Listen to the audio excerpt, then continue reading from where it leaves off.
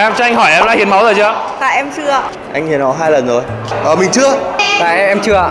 Em chưa. Dạ em chưa. Dạ em hiến máu một lần rồi ạ. Em chưa. Dạ em chưa ạ. Dạ, em đã từng hiến một lần rồi. Chưa. Anh hiến được 3 lần rồi. Dạ chưa Sắp tới nhà trường có chương trình hiến máu thì em có định tham gia không? Dạ em có Ờ mình có chứ Dạ em à, để em suy nghĩ ạ. Em cái này em phải xem xét tại vì là em sợ một số. Em sợ cái gì? Tại vì là thường thường người ta nói là hiến máu thì à, sẽ béo ấy thì con gái rất là sợ béo nên là em sợ. Em sợ đau. Dạ, Cũng thích tham tham gia mà ạ. Chắc chắn là sẽ tham gia. Em có Em nghĩ là có. à, Nếu nếu em đủ điều kiện thì em sẽ tham gia Theo em là hiến máu có những cái lợi ích gì? Ờ, hiến máu em là ờ, thứ nhất là cung cấp máu cho người cần dùng ạ thứ hai là em sẽ được béo lên ạ Hiến máu xong thì thấy cơ thể nó khỏe hơn rồi mình thấy là tinh thần phấn chấn. Với cả mình cảm thấy là mình cho người khác đi thì mình cảm thấy là tự tự mình thấy thoải mái thôi. Ờ hiến máu có ích gì đó chính là cứu người Đấy là mục đích cao, cao lớn nhất rồi Không cần phải nói gì hơn À, mình sẽ được à, thay máu ạ, được à, trẻ ra, sống lâu hơn ạ. rất là tốt vì nó là thay máu cho mình và, và trước khi ờ, thì người ta cũng làm ờ, kiểm tra để cho mình biết được xem mình có bệnh tật gì không À, nó sẽ giúp em à, tăng cân được và hỗ trợ cho những à, bệnh nhân đang bị thiếu máu ở trong bệnh viện. Ờ, hiến máu giúp anh tăng cân được đều đặn hơn. Ờ, em nghĩ là ờ, giúp được cho các bệnh nhân ờ, thiếu máu ờ, ờ, hỗ trợ cho một phần nào đó cho nhà nước Ờ, Có người bảo là hiến máu xong thì ờ, đẹp da hơn nhưng mà em nghĩ là xấu hơn tại vì mẹ em bảo hiến máu xấu hơn nên em cũng càng không muốn hiến. Rồi thế cảm xúc của mình trước khi đi hiến máu thì cảm thấy nào nhỉ? Trước khi lần đầu làm chuyện đấy. em cảm thấy rất hồi hộp ạ Hơi hơi sợ tí, hơi đau tí. Nhưng không sao. Hiến xong thích. Rất là là đau ạ, mệt ạ. em đã hiến đâu mà biết rồi Tìm hiểu chưa? chưa Thế cảm xúc của mình trước khi đi hiến máu nhỉ? Trước khi lần đầu làm chuyện đấy. em sợ không được hiến mất em sợ em bị máu nhiễm mỡ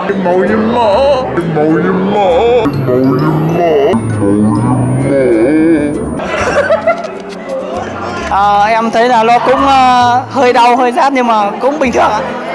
Nói chung là đợi hơi lâu nhưng mà cũng ờ, cảm thấy là rất là thích.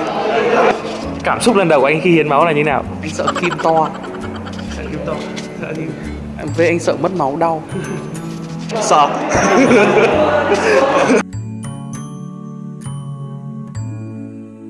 Chào em cho anh hỏi là đây lần thứ mấy em đi hiến máu? À, đây là lần đầu tiên em tham gia chương trình hôm nay.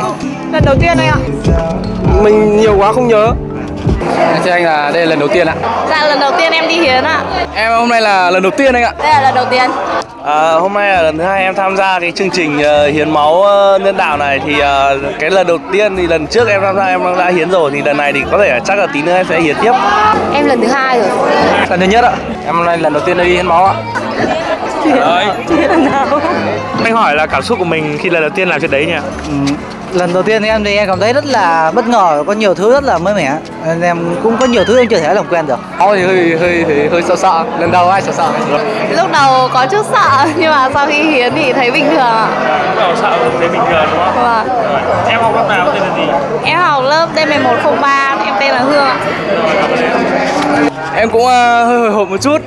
À, cũng hơi hoang mang. À, thôi cứ chiến hết anh ạ. Sợ gì? sợ mà Hả? sợ Sợ cái gì? sợ rồi nhìn máu sợ Ờ, rất sợ. Cháu cháu sợ đến lúc ờ, lúc lúc chụp tài về ra em là em đã ngất. đau Đau đau. Chưa hiến nhưng mà biết đau. Còn cảm xúc gì nữa? hồi hộp sợ dạ em cảm thấy ờ, rất vui vì ờ, đã hiến máu đã được hiến máu.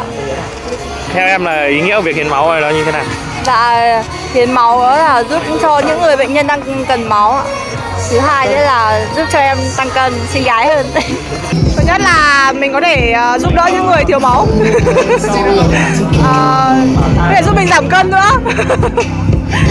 Còn gì nữa thì à đặc biệt là hình như hiện là máu của trong uh, số lượng máu ở trong bệnh viện máu trung ương đang thiếu. Thế là cái công việc này rất là có ý nghĩa Rồi, cho anh hỏi là hôm nay mình hiến máu đúng không? Vâng ạ. Thế tại sao mình hiến? Ờ, tại vì em bị huyết áp thấp ạ. Có có cảm thấy buồn không? Ờ, buồn một chút ạ. Thế theo em là hiến máu này có ý nghĩa như nào mà mình mong muốn đi hiến như thế? Ờ, bởi vì ờ, mình ờ, một giọt máu đào thì ờ, ờ, mình ờ, hiến đi cho những bạn mà khó khăn ấy ạ. Thì ờ, mình rất là vui. Vâng, vâng, vâng. À, và hôm nay thì trường Đại học Đại Nam ấy có cái chương trình là ngày hội hiến máu ạ. À, thì em muốn hỏi thầy về cái lợi ích của việc hiến máu. Thứ nhất là đối với xã hội và thứ hai là đối với riêng bản thân những người hiến máu ạ. À, trước hết là việc uh, hiến máu chúng ta phải hiểu rằng đối với cộng đồng thì đó là một uh, nghĩa cử cao đẹp à, một uh, giọt máu hồng cho đi một ngàn cuộc đời ở lại đó. đó là ý nghĩa đối với cộng đồng và cái thứ hai nữa là đối với ở Việt Nam thì chúng ta đã trở thành những cái phong trào rất lớn nhưng nhiều quốc gia trên thế giới đó lại là những hành động không cần phải có những cái phong trào như ở Việt Nam. Như trên phương tiện thông tin đại chúng như các bạn đã biết là các quốc gia là có những quốc gia là hầu như 100% là đều hiến máu. Và đặc biệt với cái tình trạng phát triển xã hội như bây giờ à, kể cả bệnh tật cũng lẫn như các cái tai nạn lao động tai nạn sinh hoạt nhiều những cái ca cấp cứu rất cần đến máu. Và thực tế là à, đã có những cái khoa học phát triển ở máu nhân tạo nhưng về phải nói rằng để chất lượng của nó thì chỉ có máu ở cơ thể con người là máu chất lượng nhất. Đối với cộng đồng có một ý nghĩa như vậy. Và chính cái vấn đề này thì là là Bộ Y tế kết hợp cùng với các cơ quan tổ chức chính quyền là phát động rất nhiều phong trào hiến máu, nhưng lấy lực lượng thanh niên, sinh viên làm nòng cốt à, như ở các quân đội, cũng như là trong các lực lượng à, vũ trang công an và các sinh viên của các trường đại học. À, đối với cá nhân thì về mặt khoa học thì việc mất máu đó là một cái kích thích đối với cơ thể của con người. Và đặc biệt cụ thể là kích thích vào cơ quan tạo máu của cơ thể đó là tủy xương để tạo ra hồng cầu thì việc các bạn cho đi máu thì các bạn không hề mất máu đi. Mà nếu như các bạn không cho đi thì đời sống của một hồng cầu cũng chỉ tồn tại có 21 ngày thì tự máu cũng sẽ mất đi và lúc đó cơ thể cũng sẽ lại tạo ra một cái đời sống hồng cầu khác. Cho nên là việc à, à, cho đi thì ngoài cái việc là cái nghĩa cử cao đẹp của mình ra thì nó cũng là một cái và không ảnh hưởng gì đến sức khỏe à, của người cho máu. Và đồng thời thì cũng nhân những cái dịp này có những các bạn sợ đi bệnh viện không có bệnh gì thì cơ quan y tế người ta đều phải có những cái xét nghiệm trước khi các bạn ừ, hiến máu. Bởi vì máu các bạn phải đủ điều kiện đủ tiêu chuẩn thì mới được hiến máu chứ không phải ai cũng có tinh thần mà được hiến máu. Thì đấy là có những cái lợi ích riêng đối với những người hiến máu. Như vậy. Vâng, vâng, vâng, em cảm ơn thầy ạ.